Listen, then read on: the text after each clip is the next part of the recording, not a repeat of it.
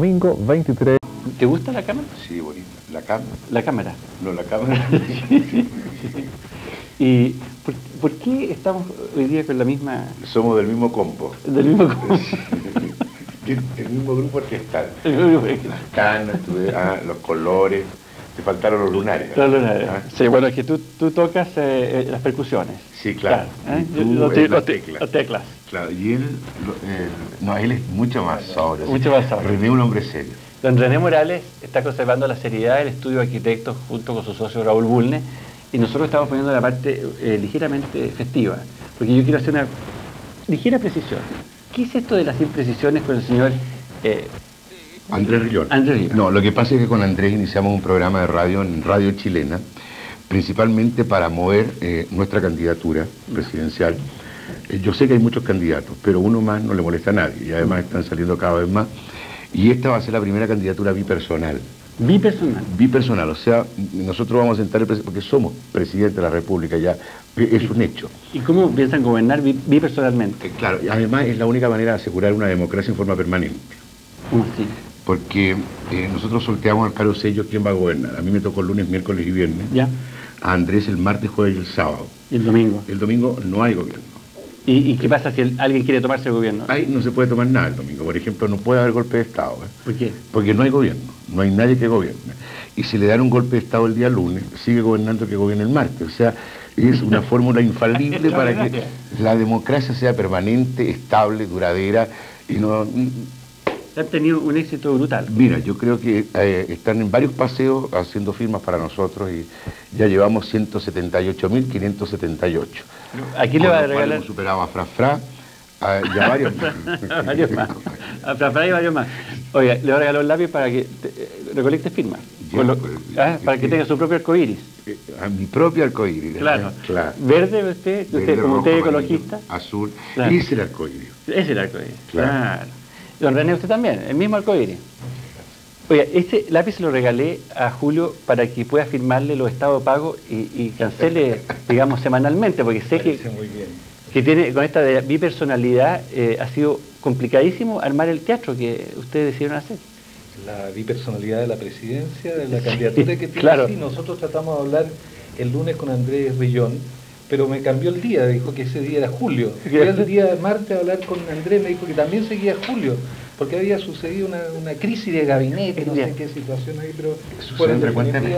¿Sucede En frecuentemente? el último tiempo sí. ¿Y qué, qué han decidido ustedes para... eh, ¿Se han puesto de acuerdo para inaugurar un teatro luego? Y, es el problema de nuestro ministro de la Vivienda, que es René Morales, y el subsecretario eh, Raúl Bulne, que no, no, no, no nos ponemos de acuerdo todavía. No se pueden de acuerdo. No, faltan algunas menudencias, pero faltan. ¿Podemos colaborar con algo, René?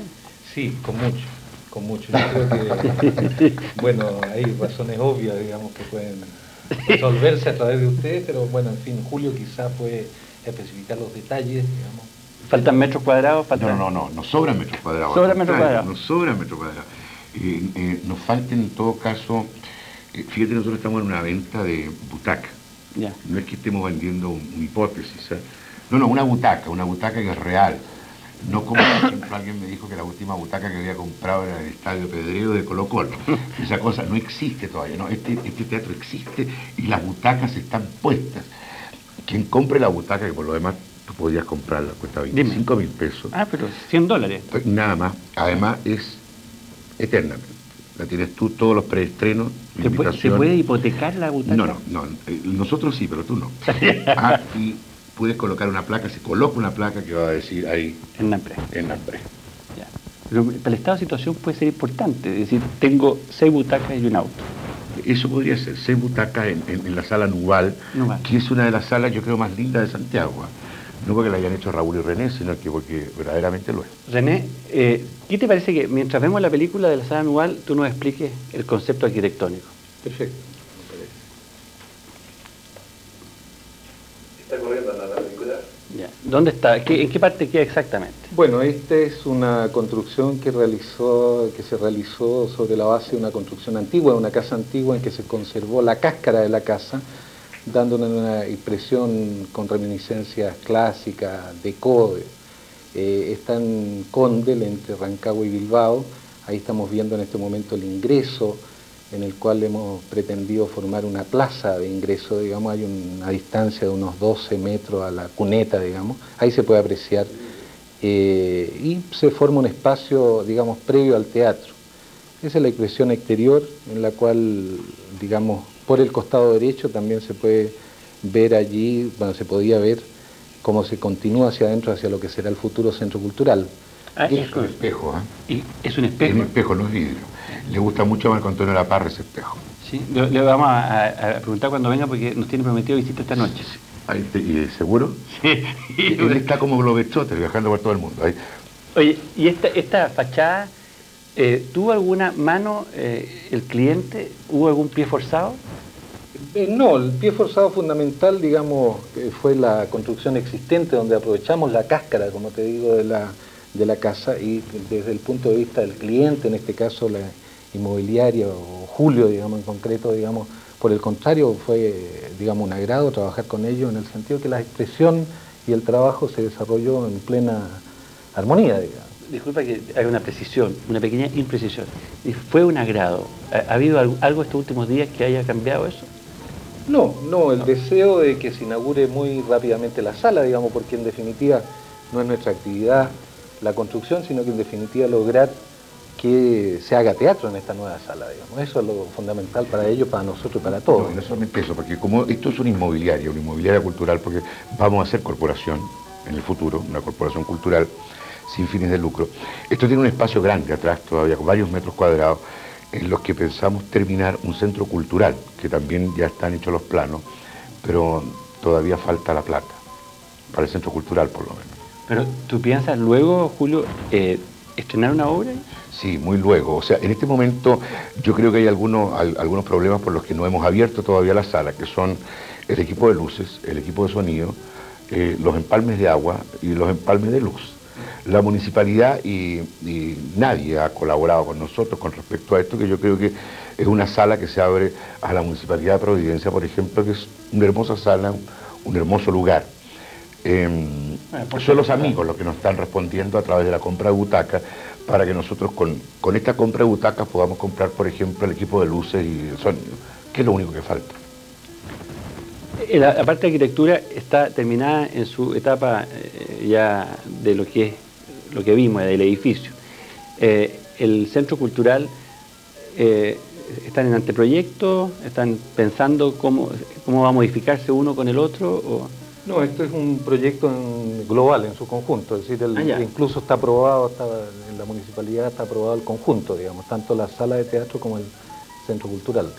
¿Y qué complejidad ofrece una sala de teatro como proyecto de arquitectura, René, en esa localización? Porque no es un lugar habitual de eh, ni de cine, ni de teatro, no hay otros elementos de apoyo.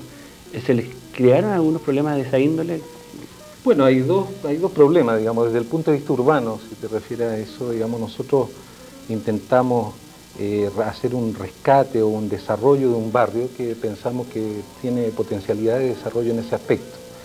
En segundo lugar, en el aspecto arquitectónico propiamente tal, eh, desde luego se nos han planteado varios desafíos. A nosotros la base de un proyecto de teatro, que es la, la acústica y la visión, bueno, nos ha obligado y nos ha forzado a esforzarnos, digamos, y a aprender y a recurrir a especialistas, digamos, en estas materias. Hemos aprendido mucho y hemos estudiado algunos puntos en detalle. Julio, para ti, el hecho de tener este hijo nuevo o esta hija que es la sala de teatro, ¿cómo fue la confrontación en el momento de pararte en el escenario? Eh, aunque existieran eh, todos los problemas de conexión de agua y estos detalles, pero era lo que tú estabas esperando, es lo que tu vida de teatro te mandaba y te decía, esto es Le Chunté. Claro, este proyecto lleno, no, es un proyecto de satisfacción personal solamente, o sea, desde que con María Elena volvimos de Venezuela, hace cinco años, y ya antes habíamos pensado en crear un espacio donde se pudieran juntar y aglutinar todas las manifestaciones culturales, una librería, una galería de arte, eh, donde se pudiera estar, donde se pudiera actuar, donde pudieran haber recitales, donde pudiera haber teatro. Eh, trabajamos duramente con esto y afortunadamente surgieron amigos, porque sin amigos todo es imposible que pueda hacer una cosa así.